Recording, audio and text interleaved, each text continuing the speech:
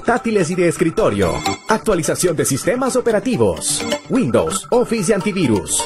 Formateo con respaldo opcional. Instalación y conexión de redes. Limpieza de virus y malware. Instalación de controladores DJ y programas de música y video. Estamos ubicados en la urbanización Los Rosales, primera etapa, Anillo Vial y calle Venezuela número 126. Contáctanos al 099-934-6866. Somos Servicio Técnico de Computadoras Jayco. En la mañana o en la tarde. En la tarde o en la mañana.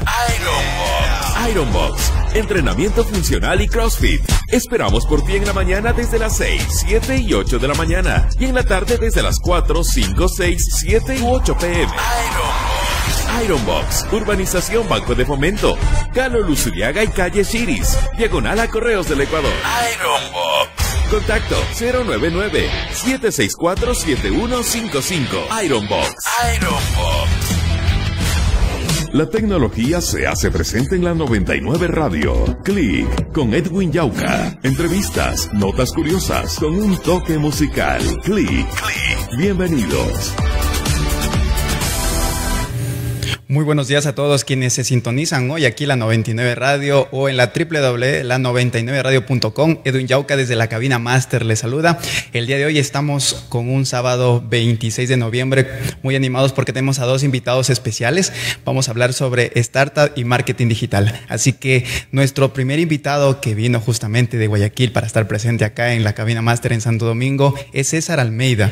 Él es CEO de K2 Consulting Group y el tema que vamos a hablar ahora es sobre las, startups que hay en Ecuador. Sabemos que hay varias startups, incluso alguien dice, ¿qué es esto de las startups? Entonces, a veces hasta un poquito nos, nos decimos este término raro, ¿sí? Pero justamente son los emprendimientos o empresas que prácticamente ya están empezando a tener nichos de mercado, o al menos que empezó con una idea, pero ya están justamente eh, incluso generando servicios, productos. Entonces, vamos a tratar de estos temas muy importantes con César, que nos acaba de llegar acá a la cabina máster. Es más, a César lo tenemos justamente en la... Acá está, perfecto César. Muchísimas gracias por la apertura, el tiempo acá justamente compartiendo con nosotros y en un sábado más en donde el programa de Click eh, involucra tanto la tecnología con las diferentes verticales de negocio y podemos hablar de unos temas importantes de qué emprendimientos están en el Ecuador. Muchísimas gracias por la apertura, César. Gracias, gracias Edwin, gracias por la oportunidad y muy buenos días con todos y, y, me contagio de esa alegría de lo que sucedió con la selección ecuatoriana el día de ayer. Entonces estamos con esa onda positiva, creo que es lo mejor que nos está pasando en esta temporada. Perfecto, perfecto. Es correcto lo que nosotros eh, estamos viendo acá de la selección, cómo ha avanzado y bueno, ayer estuvo un partido prácticamente eh, sesgado bastante, aquí ya solo era definir, pero justamente nos tocó así.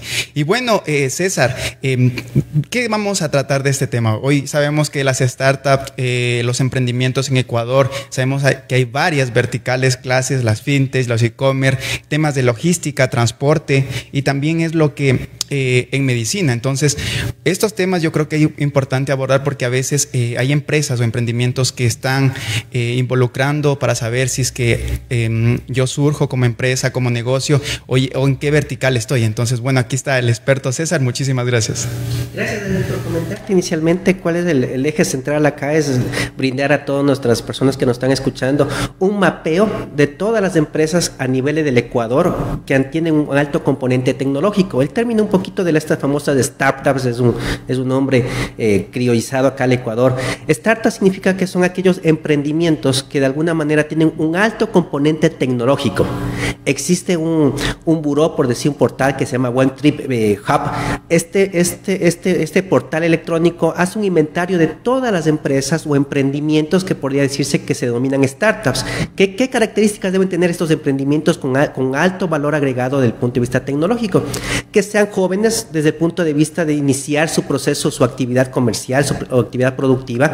La segunda es que tenga un alto componente tecnológico, que tenga pocos recursos, por eso se llaman emprendimientos digitales, y que de alguna manera tengan un, un producto eh, o servicio exitoso que puede implementar en el mercado. Entonces, este portal hace un mapeo de todas las, de las empresas que están en el Ecuador. Te puedo comentar que si es que podemos revisar este, esa página web, desde el 2001 se han inventariado 101 empre emprendimientos. A la fecha de hoy, por decirte, a este último trimestre del 2022 están 314 empresas inventariadas, mapeadas. Es decir, un crecimiento de casi un 311%. Es lo que ha hecho las cosas de alguna manera algo positiva de la pandemia, ha hecho este, eh, subida exponencial de este tipo de emprendimientos digitales. Totalmente, César. Y es verdad, uno a veces eh, no sabe eh, cómo está avanzando y en Ecuador también hay bastantes startups que en donde empieza justamente esto de, del negocio, ¿no? Entonces, más bien, eh, sí, justamente se han hablado que en el sector salud también por la pandemia se han involucrado y se han creado nuevas iniciativas para investigación y desarrollo, tanto de, de, verticales o incluso aplicativos, en el caso de tecnología, o incluso cosas electrónicas. Entonces, es importante estos temas. guys. Sí, totalmente de acuerdo. Y qué bien que tú dices, y complementando tu idea, es la pandemia que ha hecho, cómo se caracterizan estas startups. Me vas a decir, César, todo emprendimiento ha sido exitoso. De alguna manera hay dos componentes, que es uno para la alta y otra para la baja. La alta, ¿cuál es? Si uno tiene, por ejemplo, César Almeida, tiene un producto funcional que en la época de pandemia hizo que si se le metiera un componente digital, un componente tecnológico, disparó las ventas, disparó el ingreso, bienvenido sea. Pero hay otros tipos de negocios que de alguna manera pensaron que solo colocando a ese producto o servicio un componente automatizado digital iban a despegar y no fue al revés. Por eso es de tu saber, y eso es un dominio público, muchas, muchas empresas tuvieron altos ingresos económicos a nivel del Ecuador y otras em, empresas quebraron, ¿ya? Porque de alguna manera no pudieron soportar la época de pandemia. Aquellas que estuvieron en el lado positivo de la balanza tuvieron un gran despegue de, de, de ingresos, por decirlo así. Tanto así que este mismo portal, cuando nos habla de dónde están las empresas que más, que más, en dónde han sido las que más han repuntado. Por ejemplo, todas las que son de, tecnología financiera abarcan el 21%. Comercio electrónico otro sector abarca un 14%. Eh, eh, fintech el 21%, comercio electrónico el 14%, business soluciones de negocio el 12%, la logística un 8%, salud un 6%, transporte un 5% y educación un 5%. Es decir, estos nichos de mercado abarcan el 80% de estas 314 empresas que te menciono. Las más grandes en, tecnología financiera, comercio electrónico y soluciones de, de negocio y logística, las tres más grandes grupos, por decirlo así.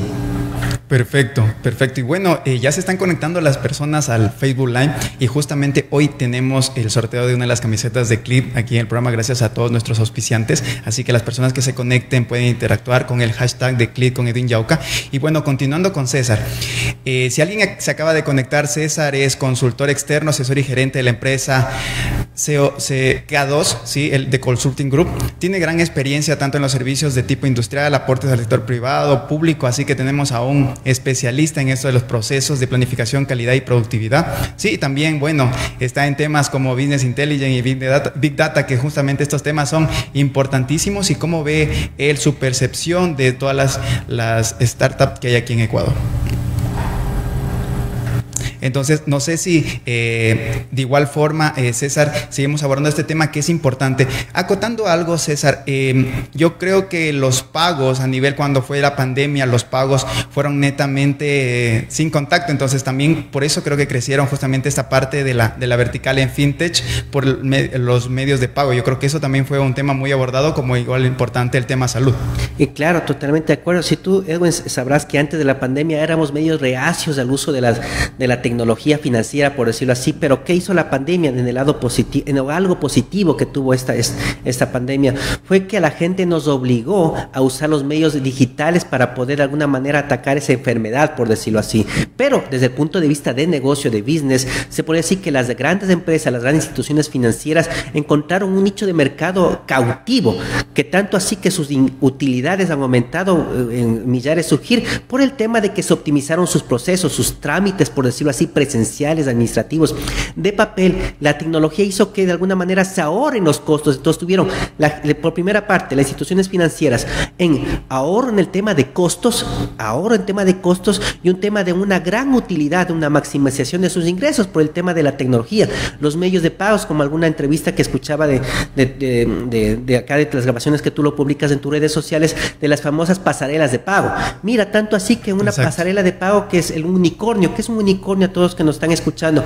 Un unicornio a nivel mundial es aquella startup, aquel emprendimiento con alto componente digital que está valorado en más de mil millones de dólares. Imagínate, a veces uno no puede entender ese número. Exactamente. Más de mil millones de dólares. Y una empresa ecuatoriana está en las grandes ligas, que es Kuski. Exacto. Kuski es una empresa, por su gran gestión, hay muy, gente empresarial que está atrás de esa, en la junta de accionistas, eh, gente inmobiliaria también está ahí atrás de ese negocio. Entonces, esta, esta fintech está valorada, creo que está en 1.500 o 1.300 millones de dólares. Imagínate ese valor de esa fintech. ¿Y dónde fue despuntó? En la época de pandemia. Exacto. Entonces, instituciones financieras, también el e-commerce, mucha gente decía, César, no, o el delivery, nos obligó a nosotros a utilizar los medios de pago digitales para tener el servicio a domicilio.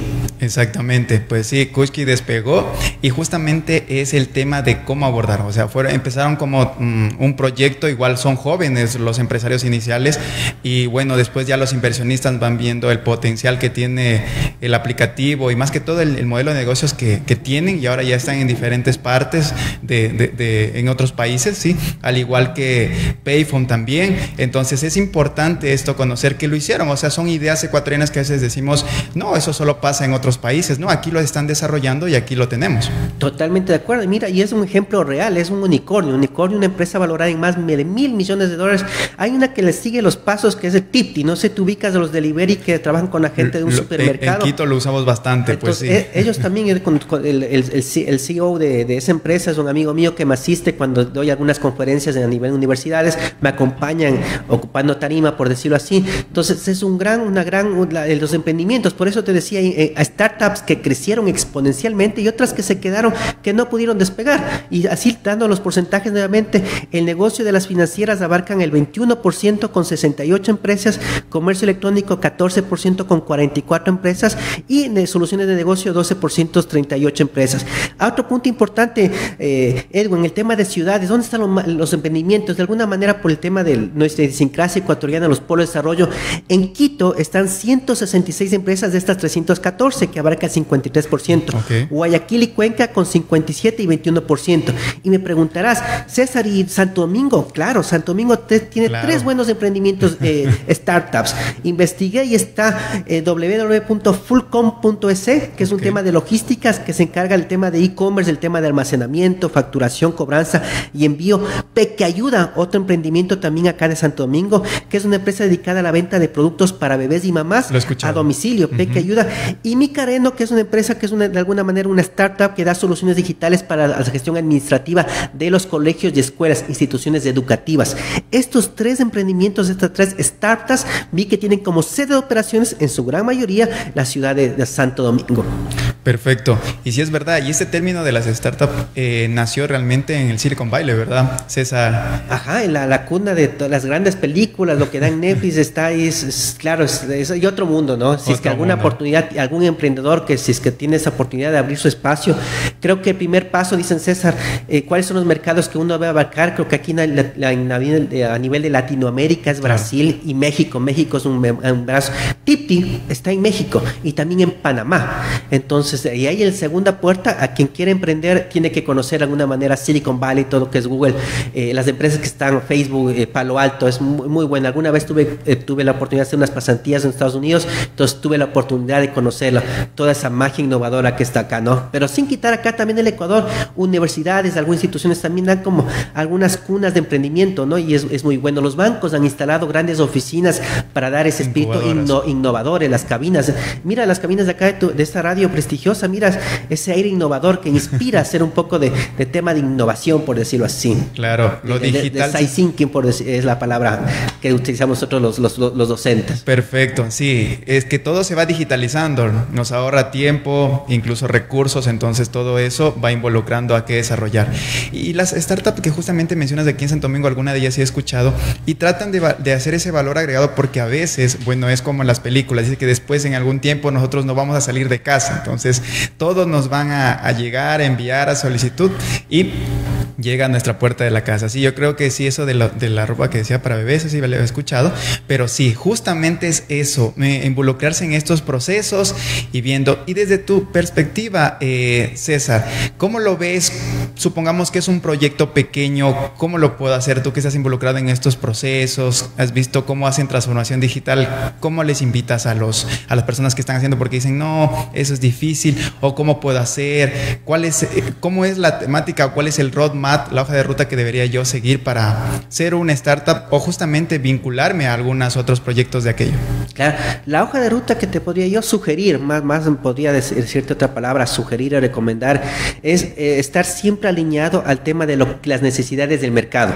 Si a veces uno se enamora tanto del producto que cree que con ese producto va a despuntar, pero el clic, ese clic que hace, que se hace, es cuando está pegado a una necesidad del mercado, identificas un nicho de mercado. Si, si tú mapeas dentro de tu hoja de ruta que unos clientes cautivos sienten la necesidad de ese producto o servicio, tú puedes desarrollar o darle un componente tecnológico, capaz que ni siquiera sea tecnológico, pero debe cubrir una necesidad, una necesidad que sea cliente. Imagínate tú que yo pueda crear un producto y que nadie me lo compre y que yo haya invertido recursos, tiempo, dinero, eh, el tiempo uno que puede tener y las inversiones que uno pueda realizar. Lo, el, primer paso creo que es siempre tener esa, ese contacto con el cliente, hacer esas famosas técnicas de focus group, algunas encuestas, lo que se puede realizar, lo que nos enseñan universidades, o de alguna manera siempre estar eh, pendiente, escuchando lo que dice el, cliente, salir a la calle y sondear, a ver, tengo un producto y ver si es que el cliente quiere y a partir de las palabras, ese feedback o retroalimentación que nos puede hacer, uno puede ir depurando el producto, depurando el producto. Esa es un poco que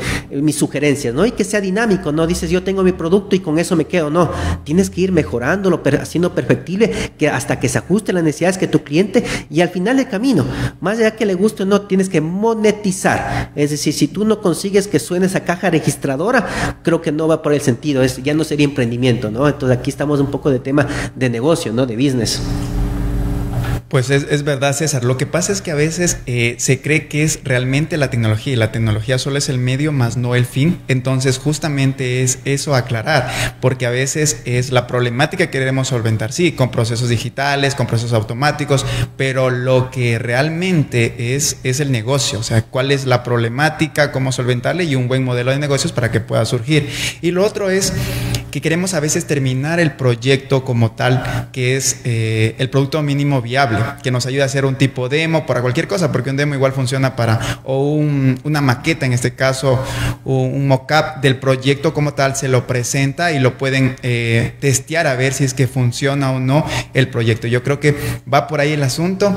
Es importante recalcar que tenemos otros proyectos que nosotros podemos vincular o otras ideas y ajustarnos a las diferentes verticales. Por ejemplo, eh, lo que es delivery, lo que es el propio, los fintech. Entonces, supongamos que tenemos una idea. Entonces, tratamos de decir, ah, sí, los pagos, usamos una vertical de pago las fintech, usamos otras, eh, por ejemplo, de delivery y justamente un e-commerce. Entonces, tratamos de vincularnos en esos medios para nosotros lanzar nuestra idea. Totalmente de acuerdo. Y como tú bien decías, y solo cojo tus palabras, deberías mejor tú ser el entrevistado, eh, amigo Edwin. Sí, el, producto mínimo viable. Esa es la palabra clave. No significa que debes llegar con tu producto 100%. Ah, César, pero no te entiendo. Me dices que yo producto, puedo sacar el producto mal hecho. No, no, para nada. Debes cumplir unos ciertos estándares para que te compre tu cliente. Lo importante es que debe cumplir al menos unos estándares, unas líneas rojas para que puedas tú pivotear en el mercado.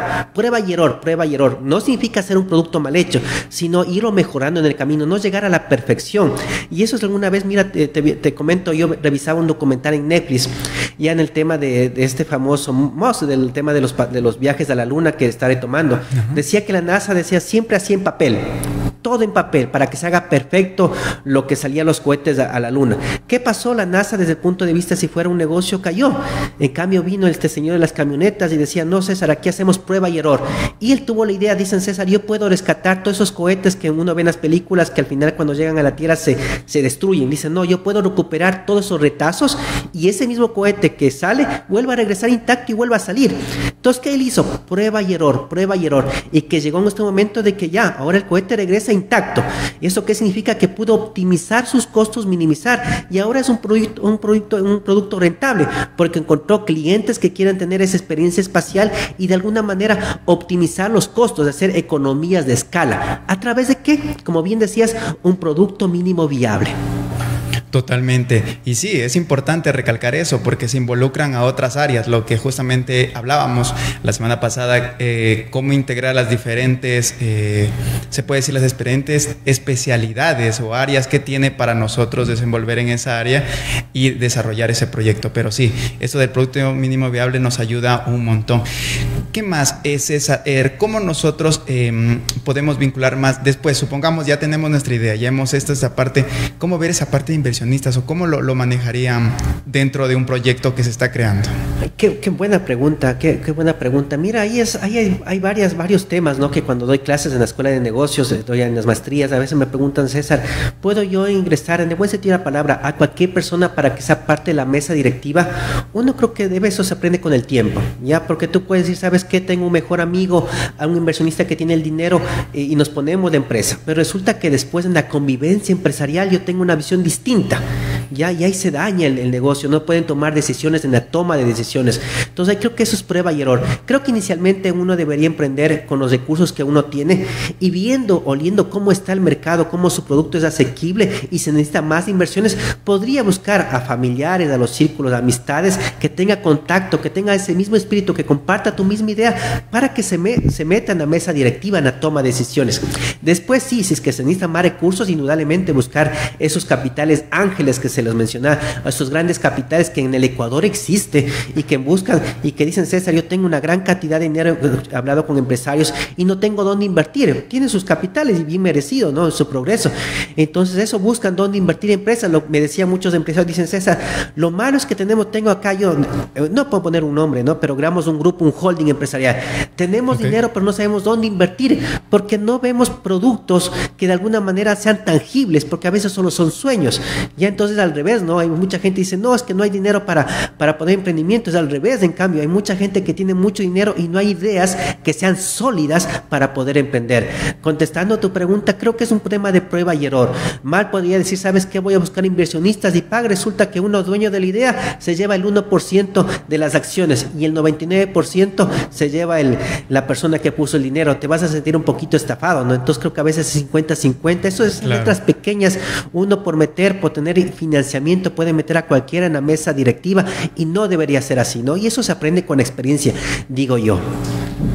Totalmente. Y cuando nosotros hablamos de esto, porque una idea mientras eh, no tenga un producto mínimo viable o al menos no sea testeado igual queda en idea porque a veces cuando somos estudiantes o incluso estamos lanzando nuestro primer proyecto dice no lo voy a comentar a nadie que nadie sepa esto va a ser la revolución y esto tiene y, y cómo va a tener no lo que pasa es que cuando ya uno lanza un producto mínimo viable incluso los inversionistas quieren ver ya números. Entonces va por ahí el asunto lo están usando qué fácil es sí porque una idea uno plasma sí es correcto pero ya verlo tangiblemente un producto, un servicio, es diferente. Totalmente de acuerdo, bien, bien tus palabras, es lo que le comenta que de alguna manera ese producto tiene que tener esa, ese, ese testeo. Ya dice, no, y es lo que nos es pasa, creo que es la, la, cultura latina, ¿no?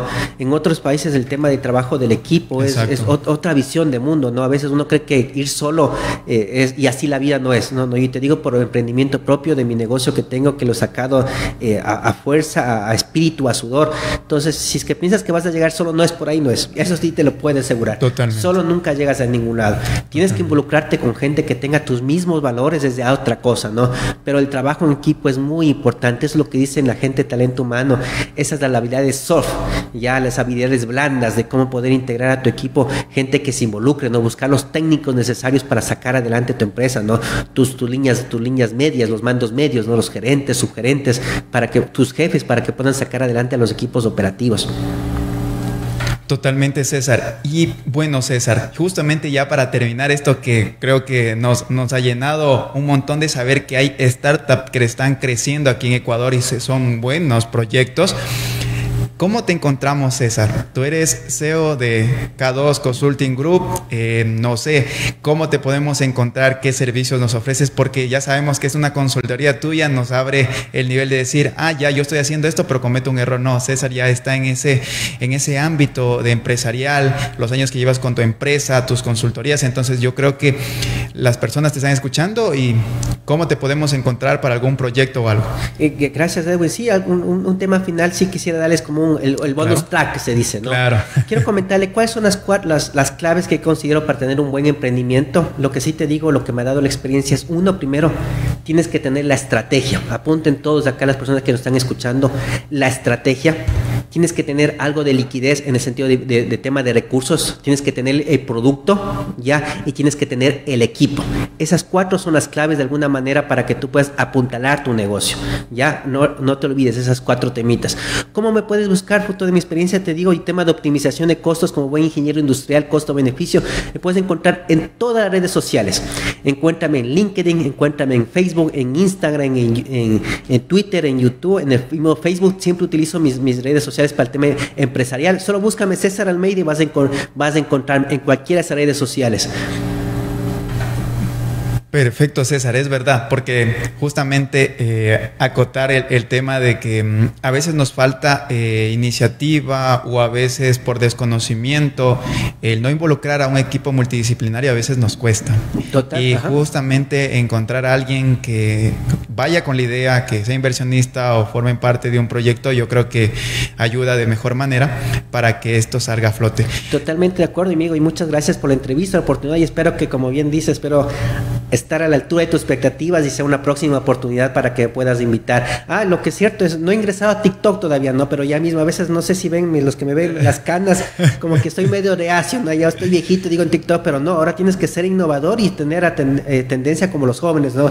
Entonces próximamente ah, espero y aspiro estar en TikTok. Totalmente. Y, y, bueno, más que todo es como uno trata de difundir sus ideas, porque supongamos estamos en una sola red social y a veces se nos complica, entonces sí, tenemos que estar en todos los medios para que nosotros eh, nuestros conocimientos, nuestros proyectos salgan y se diferencien o algo más, pero tienen que estar en todos los canales digitales para ayudar.